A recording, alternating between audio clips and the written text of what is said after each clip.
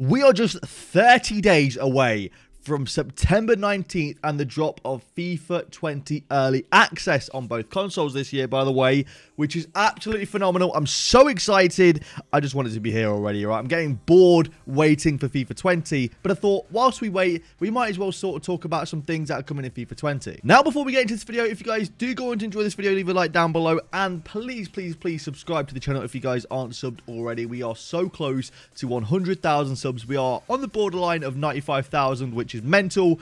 And it's crazy to think about that we've gained like 6,000 subs this month, but it's absolutely incredible. I'm so grateful. 100k has always been my dream. So if you guys could subscribe and help me out to get to 100k, it'd mean the absolute world to me. It really would. So without further ado, let's jump straight into the video. Now, this year there has been an absolute avalanche of of transfers. There's been so many good transfers that could be in FIFA for the ones to watch. And if you guys don't know what the ones to watch is, maybe even living under a rock, maybe this is your first FIFA, I don't know. The ones to watch happens twice a year in uh, October slash September time and in January slash February time. And it is basically where EA compile the best transfers or their favorite transfers or essentially players to watch, the ones to watch from transfer windows uh, of players that's, that signed to different clubs. They give them a special card in FIFA and that card card is dynamic. So, for example, um, a card gets uh, a special card for its base rating. If that player gets an inform, the ones to watch item then turns into the rating of its inform.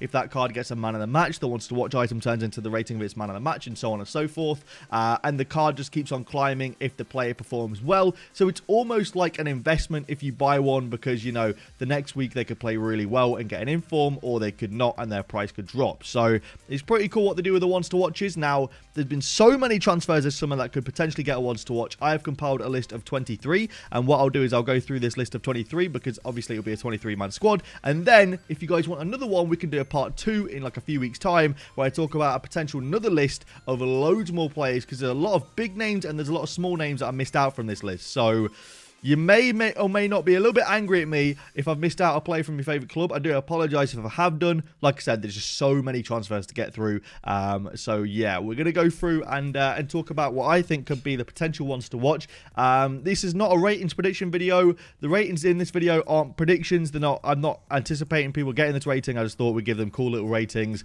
just to make the card look a bit more interesting, really. Now, the first player in my FIFA 20 ones to watch is Wissam Ben Yedder. Now, Ben United just moved to Monaco on a five-year deal for about 40 million euros or 37 million pounds. Um, and he's actually a pretty solid player both in game in FIFA and outside. I do remember him playing against Man United and, and, and scoring. Kind of annoying. Not not not approval for.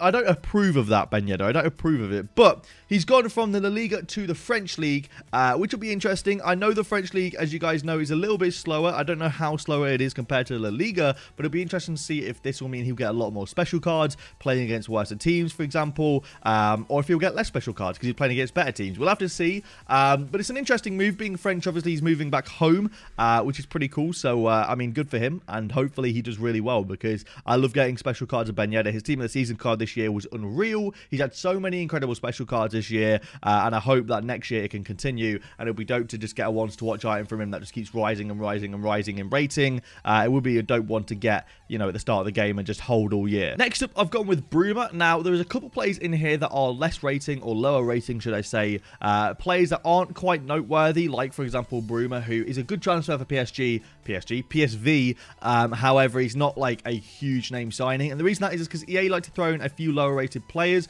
uh, both just to fill packs and to, you know, make everything diverse. If they just had a 23 man squad of like 90 rated players, I don't think it'd be that great. Um, or EA don't think it'd be that great. I think it'd be pretty cool, but EA don't think it'd be that great. So uh, I've thrown in a few low rated players just sort of balance the mix out here. And, uh, and Bruma is one of those players. Now, he's just transferred from the Bundesliga to PSV for $17 million. Uh, now, I'll leave in the description uh, the source that I got for all these transfers. So if any of the uh, any of the, the fees or anything like that are wrong, it's the source's fault. Not mine. Okay, do apologise if any of these fees are wrong. However, uh, Bruma had a cam card last year with incredible pace, uh, decent dribbling, decent shooting, and I think he'll be one of those really good starter starter team players this year as well. Uh, obviously, he'll help with uh, with decent hybrids and stuff like that, which will be pretty cool. So uh, I'm looking forward to it. Now, this man you may be familiar with it is João Cancelo, moving from Piemonte Calcio, aka Juventus, to Manchester City for $73 million.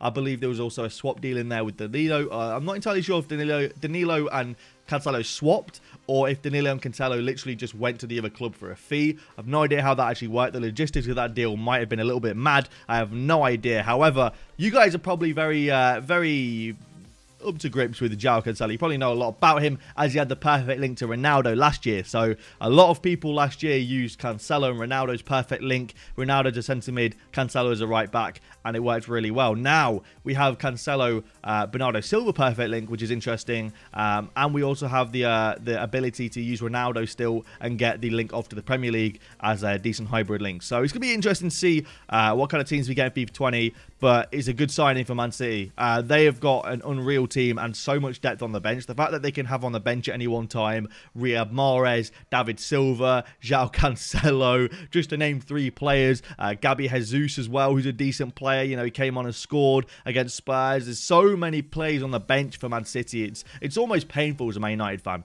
It really is. Like they're just such an unreal team. Um, but yeah, so João Cancelo there to get ones to watch. In my opinion, I think he definitely will. Next up, we have our first loan of the video. It is actually Coutinho who's loaned from uh, Barcelona to Bayern Munich. Uh, pretty interesting loan if you ask me.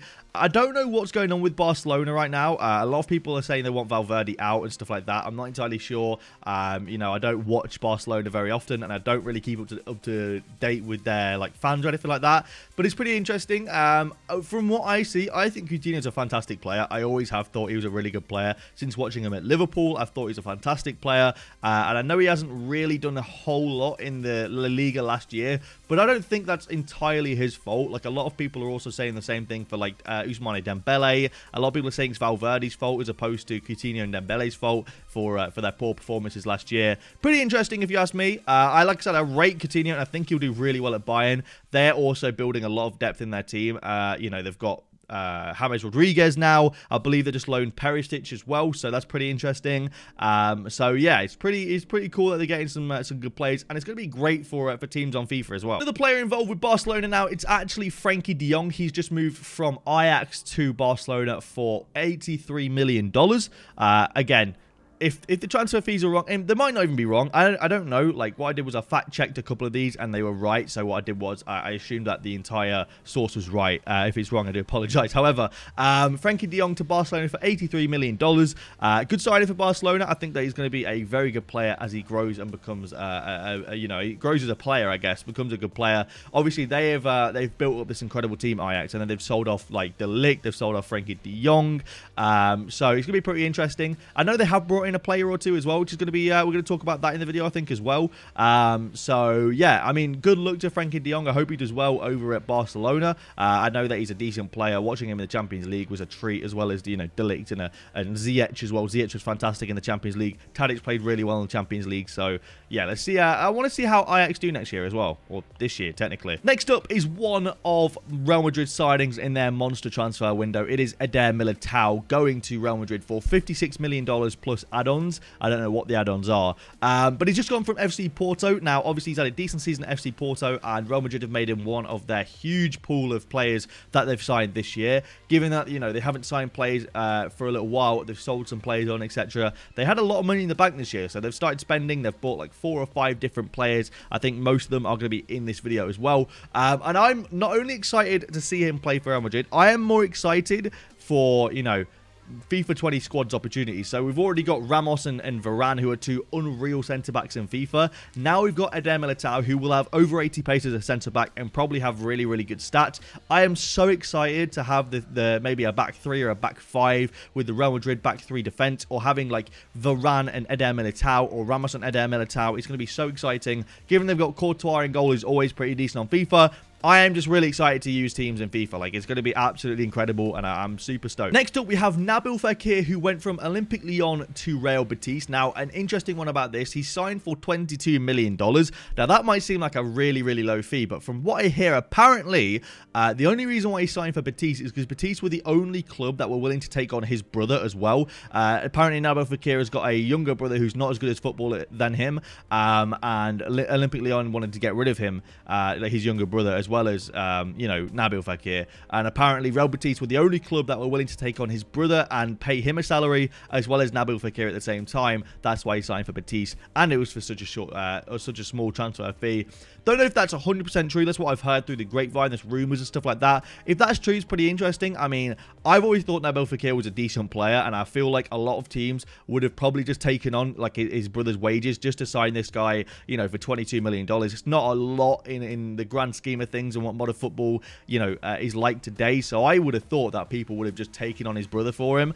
But then again, I am not a professional footballer. I am not a professional football analyst or anything like that, so I don't 100% know all these things. Um, but pretty interesting signing. Will be interesting to see how he does in La Liga. Obviously, him and Ben Yedder have pretty much just gone opposite ways here, so it'll be interesting to see who shines and if someone doesn't, who that person is. Next up, we have one of the biggest transfers of this video. It is actually Antoine Griezmann going from Atletico Madrid to Barcelona for $135 million.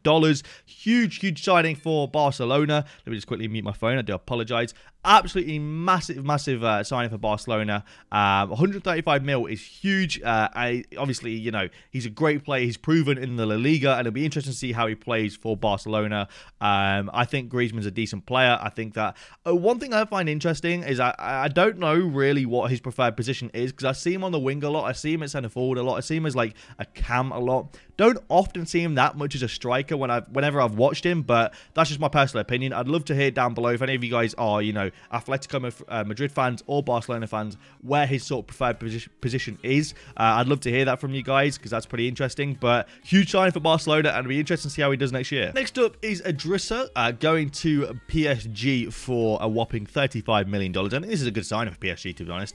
Um, obviously, he just come from Everton. Uh, I think he played pretty decent in the Premier League, and I think he was a pretty decent player for Everton Everton as well. Um, he just looked like a, a, pretty decent holding midfielder, someone that would run around the pitch a lot, uh, make himself involved a lot. I know he scored a couple of goals for Everton, uh, so it'll be interesting to see how he plays for PSG. Uh, hopefully, he has you know a good season. I'd like to see some nice special cards. This just allows for a lot more uh, diversity in, in PSG's midfield in terms of uh, hybrids and stuff like that. So you know we can have like the Senegalese link here and there. Uh, we can sort of branch out into different players. So I'm pretty excited for this, and I think it's like the first midfielder in a while PSG PSG have had, in my opinion, that's really usable as a CDM. Uh, I feel like Verratti isn't that usable as a CDM, but now PSG and French squads have a decent CDM in Idrissa. Uh, I just think that he's going to be a good player, uh, and I'm looking forward to seeing him in the in the League Un, I guess. I almost said the Liga, but I meant to say League Un. Time for another big boy, yet another one of Real Madrid's huge signing uh, this season is uh, Hazard to Real Madrid for $112 million plus add-ons from Chelsea.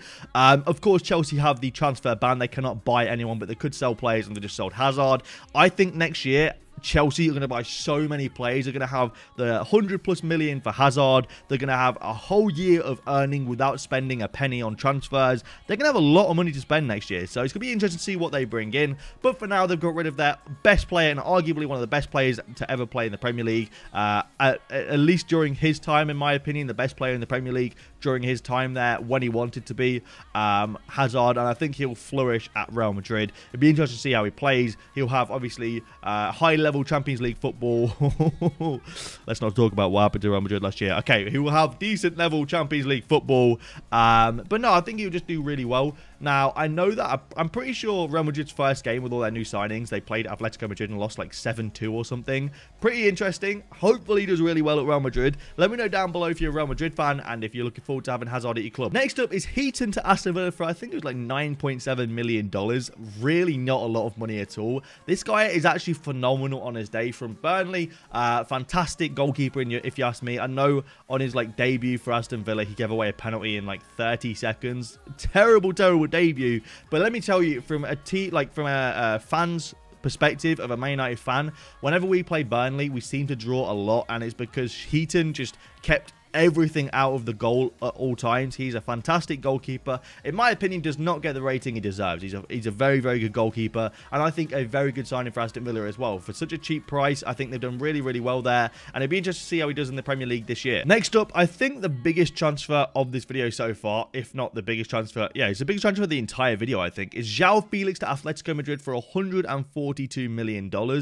Mental. Absolutely crazy. Like, what a signing. Benfica have done absolute bits there as well. Um, and he actually, he's looked incredible to start with Atletico Madrid as well. Uh, I know I saw a clip of him going on an incredible mazy run and getting a penalty for it after meg megsing someone. I've seen other clips of him like rainbow flicking people in training. He looks like a really, really good young prospect. Um, and it'd be interesting to see how he plays for Real Madrid, sorry, Atletico Madrid going forward. Um, a huge, huge transfer fee. He's got to be a great player if he warrants such a huge transfer fee. I just, I can't see him not being incredible for Atletico Madrid. So it'll be very interesting to see how he plays. And if he's not, if he doesn't live up to the transfer fee, someone's definitely getting sacked. Next up, it's Jovic from, I think it was Frankfurt. I'm not 100% sure, but to Real Madrid for $67 million, another one of Real Madrid's huge signings this summer.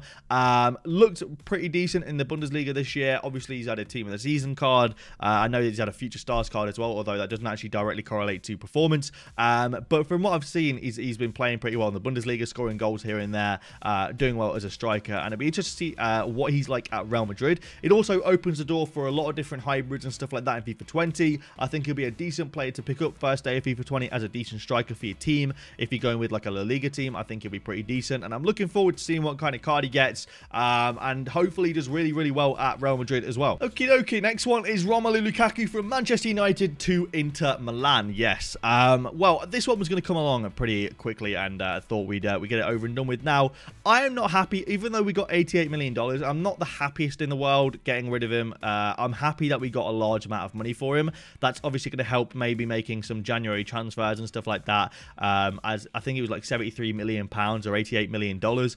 Um, and I think he'll do actually really well in the uh, in the Calcio A or the Serie A. I think that he'll do fantastically there. I think that um, he will definitely be a brilliant player there. However, I don't know. I didn't. I, I actually, I actually rate Lukaku. I'm one of like the only Man United fans that actually likes Lukaku. I feel like I, I do like him. I think he's a very, very good player um, when he wants to be. I know his first touch is absolutely awful, but I think he's got that striking prowess that we really need. Uh, luckily, Anthony Martial looks like he's in good form. He's scored a couple goals so far this season. Uh, Rashford's looking decent. We've got a decent front three so far, and I guess he just really wouldn't fit into Ole's playstyle. So maybe it was the right decision to sell him. Um, but I don't know. I actually actually do like Lukaku. I would, I would have preferred if we loaned him out, to be honest. Uh, but that's just my opinion. Uh, decent you know, fee to get for him, and I think that he'll do really well for Inter. Next up, we've got myself to Man United. Of course, we've got Harry Maguire. The meme is that I look like Harry Maguire. I personally don't see it, but it is what it is. If you think that I look like Harry Maguire, you think I look like Harry Maguire.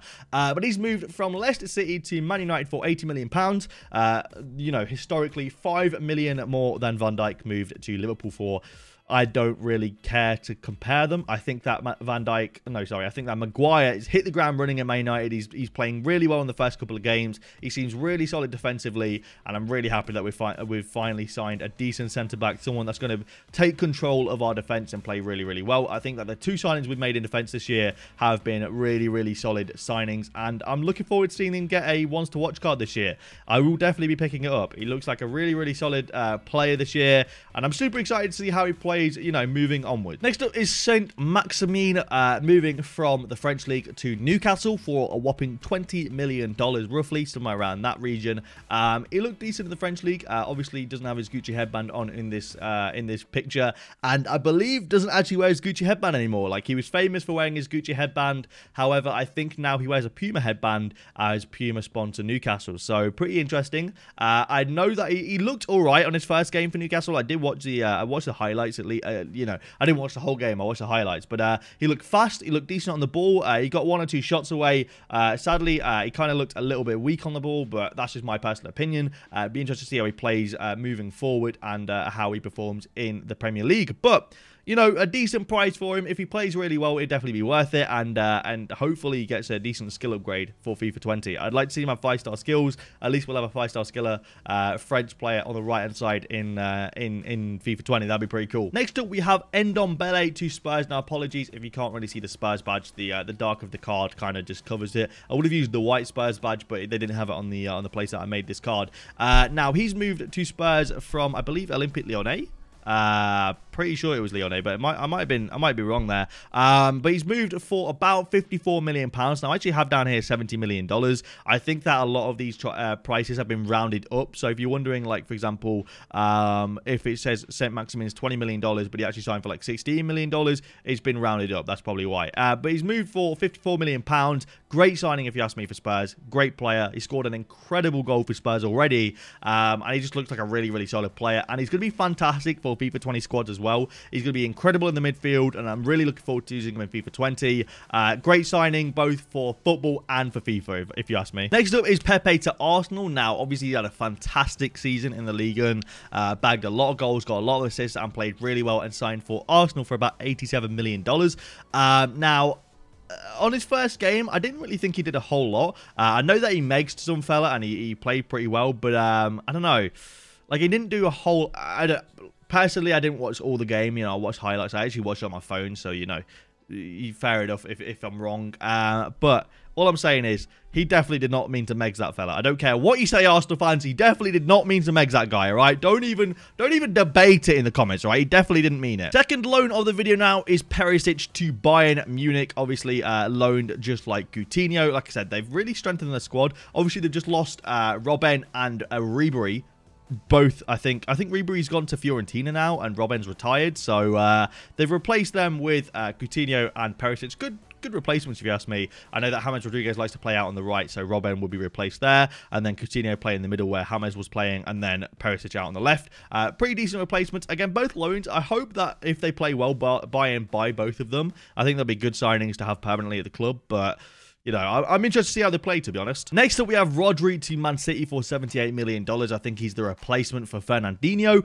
obviously, Fernandinho didn't play for City, uh, I think, against Spurs. Uh, what I find interesting about this is that I personally think that Fernandinho is still a fantastic centre mid and slash CDM, but it looks like as he's getting on a bit, City are just replacing him outright. It's savage. It's so, like, it's just cutthroat, you know? It's like, bam, they've just replaced him. So... I mean, fair enough to City. They just want to keep their machine well oiled, I guess. Um, and you know they, they they played well against Spurs. They you know were unlucky not to score like six, if you ask me. But obviously they won in the end, thankfully. Well, I say thankfully. Obviously, I, I, I didn't want them to win, but in their case, thankfully to uh, Gabby Jesus for scoring in the end, uh, given the whole VAR drama and stuff like that. I just remember that that goal didn't count, did it? Wow. Why am I saying thankfully? They drew 2 all, didn't they? Holy moly. Wow. Yeah, that goal didn't count in the end. Wow, okay. Well, Rodri to Man City for $78 million, okay? Moving on. Next up is Pablo Sarabia to PSG for $20 million. Had a really good season in the league last year, and my, if you ask me, a fantastic signing for PSG. Would have loved to have him at Man United. I think he's a very good player, and $20 million is incredibly cheap. The penultimate player now is Kieran Tierney to Arsenal. A great signing for Arsenal. He looks incredible for Celtic, and he looks like a really, really good player. Um, and I think he helps their defense massively. So good signing for Arsenal. Looking forward to using him on FIFA 20 as I actually used his uh his purpley blue card, the 84 rated one last year, and it was great at left back. So it would be great to have a card similar to that in FIFA 20. And of course, we had to end it off with Aaron Wan-Bissaka, a fantastic signing for Man United for around $57 million. Great signing, looks incredible so far this season, and I'm a really big fan of Wan-Bissaka defensively. I think he's fantastic. He needs a bit of work going forward, but I think that can definitely be worked on this season, and it's be great. It's going to be great to see him linking up with, the, with Maguire all season and, and Lindelof and, and, you know, Luke Shaw and stuff like that. So I'm looking really, I'm really looking forward to it and I'm excited. But that marks the end of the video. If you guys have enjoyed, leave a like down below. Subscribe to the channel if you guys are new around here. Thank you all for watching this video and I'll see you later.